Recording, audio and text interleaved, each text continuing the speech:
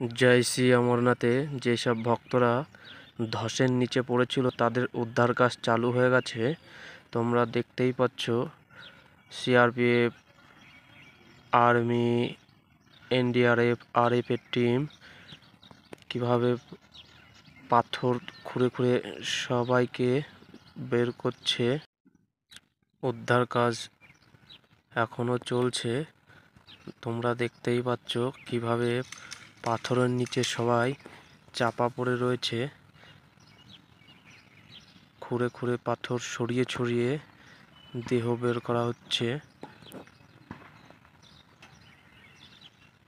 দেখতেই পাচ্ছ, army, paramilitary, NDRF, RF যৌথভাবে উদ্ধার কাজে সবাই মিলে চেষ্টা করছে, যাতে তাড়াতাড়ি সবাইকে সবাইকে বের করা যায়।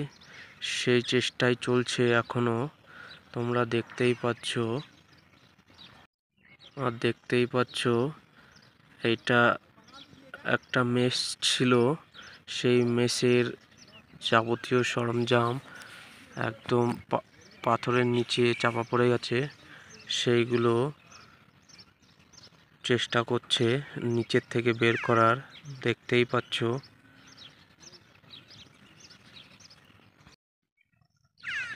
পেছনের এই মেজটা কীভাবে ভেঙে রয়েছে মেজটার যাতে আবার ঠিক করা যায় তার ব্যবস্থা চলছে।